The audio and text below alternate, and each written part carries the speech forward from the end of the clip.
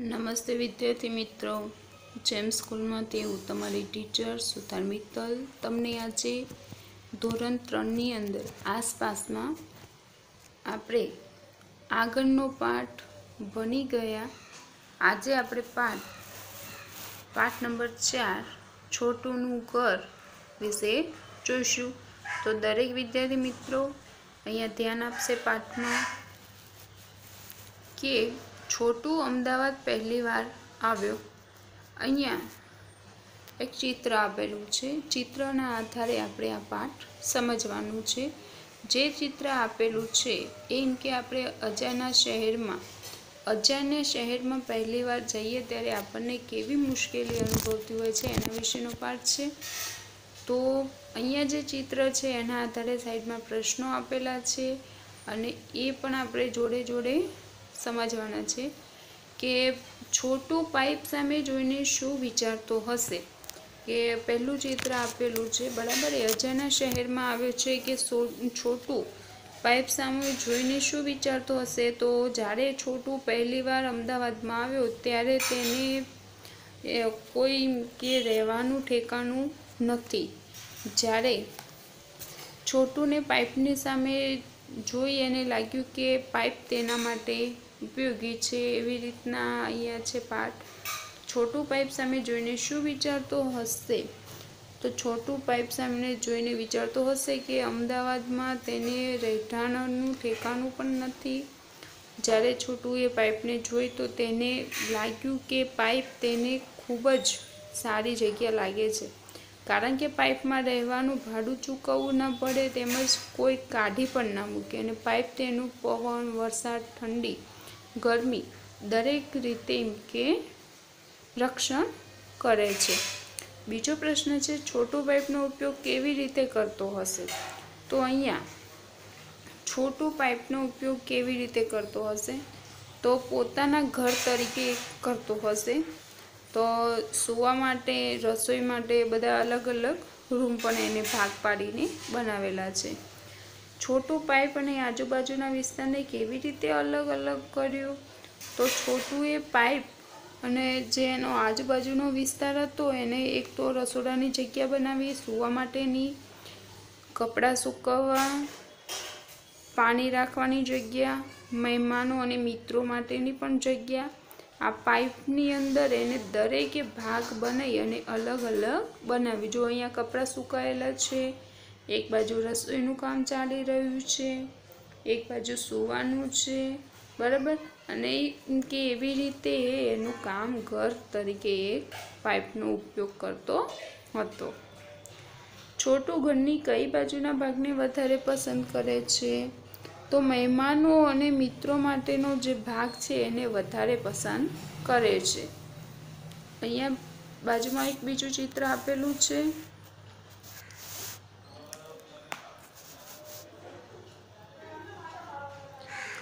મોનુને પાઇપમાં રહેવા આવવા માટે છોટું કેમ બોલાવે છે? તો મોનુ પણ એમ કે એની જેમ અમદાવાદની અંદર પહેલી વાર જ આવ્યો છે અને એને પણ રહેવાનું ઠેકાણું નથી. તો બંને જણા જોડે સાથે મળીને રહે તો બંનેને એમ કે લાભ થશે. તમે છોટું હોવ તો પાઇપમાં કેવી રીતે ઘર બનાવીને રહો? તો હું પણ એમ કે પાઇપમાં પડદા કરી, ગરમી, ધૂળ વગેરેથી રક્ષણ આપણે મેળવી અને પાઇપનો ઉપયોગ કરી અને રહેતા હોઈએ છીએ. તો અહીંયા જ એક ચિત્ર આપેલું છે, જે એમ કે છોટું અને મોનું બંને અજાણ્યા જ હતા. એ છોટું આવીને રહ્યો, પછી મોનું આવ્યો. તો બંનેને આ શહેર અલગ લાગતું હતું. તો બંને જણા સાથે મળીને રહેવા માંડ્યા. તો લાભ કોને થશે એવા કોઈ પ્રશ્ન પૂછાય તો બંનેને લાભ થશે.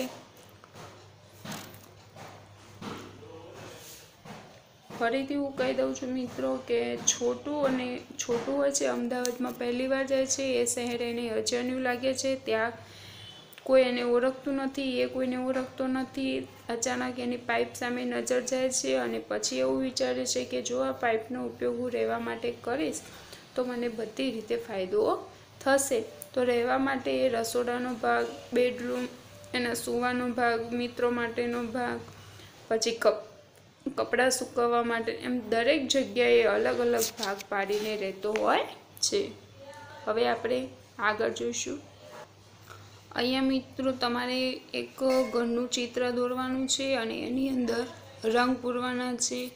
રંગ બહુ ઘાટા નહીં પૂરવાના, જેથી કરીને પાછળ છાપ પડે. હવે દરેક મિત્રો જોડે પેન્સિલને રબર રાખશે. અહીંયા હું જે લખું એ તમારે લખવાનું છે. તમારી રીતે હું બોલું એવું. વિચારો અને લખો. તમારી સાથે ઘરમાં કોણ કોણ રહે છે? તો આપણી સાથે ઘરમાં કોણ કોણ રહે છે તો આપણને બધાને ખબર છે. તો અહીંયા લખવાનું દાદા, દાદી, મમ્મી, પપ્પા બરાબર? કોઈને વધારે. તો વધારે આ પ્રશ્ન તમારે નોટમાં લખવાનો છે. છોટું એ પાઇપને બે જુદા ભાગમાં વહેંચી, તમારા ઘરના જુદા જુદા ભાગનો વિભાગ જે લખવાના છે, તો એમાં લખવાનું કે આપણા રૂમ, ઘરમાં જેટલા ભાગ હોય, બેઠક રૂમ હોય, બરાબર? પછી રસોડું, સ્ટોર રૂમ સુવાનો રૂમ દરેકના ઘરમાં હોય છે આ. તો દરેકે આ રીતનું લખવાનું છે, વિચારો અને કહો, તમે દિવસમાં કેટલો સમય ઘરના વિવિધ ભાગમાં વિતાવો છો? તો અહીંયા તમારે નોટની અંદર, તમારું જે રૂમ હોય એ રૂમના નામ લખી દેવાના, બેડરૂમ, રસોડું, સુવાનો રૂમ ભણવાનો રૂમ વરંડો જે પણ હોય એટલા ભાગ કરવાના અને સામે કલાકો લખવાના, એક કલાક, બે કલાક જે હોય તે. તમારા ઘરમાં કોઈ એવો ભાગ છે જ્યાં કોઈ સભ્ય વધુ સમય વિતાવે છે? તો દાદા, દાદી બેડરૂમની અંદર વધુ સમય વિતાવતા હોય છે. તમારા ઘરમાં કોઈ એવો ભાગ છે જ્યાં તમારા કુટુંબના કોઈ સભ્ય જવાનું પસંદ નથી કરતા? તો હા, મારા દાદા અને પપ્પા જે એમ કે રસોડામાં જતા હોતા નથી. તમે જોયું કે કેટલાક પ્રાણીઓ પણ આપણી સાથે આપણા ઘરમાં રહે છે. કેટલાક પ્રાણીઓ આપણા ઘરમાં રહે છે, કારણ કે આપણે તેમને રાખવા માંગીએ છીએ. જ્યારે બીજા પ્રાણીઓ આમંત્રણ વગર રહે છે. તો અહીંયા જે ટીક કરાવેલા છે, અહીંયા એક ચિત્ર દોરવાનું છે, ઘરનું. ચિત્ર દોર્યા પછી એની અંદર રંગ પૂરવાના છે, અહીંયા જે ટીક કરાવેલા છે એ બે પ્રશ્નો દરેકે પર્યાવરણની નોટની અંદર લખવાના છે. આગળનો પાઠ, જે જોડકા જોડીએ અહીંયા ઉખાણા આપેલા છે એ ઉખાણા વિશેનો આગળના પ્રિયડમાં શીખીશું. દરેકે પોતપોતાની નોટમાં પ્રશ્ન લખી અને તૈયાર કરવાનો છે.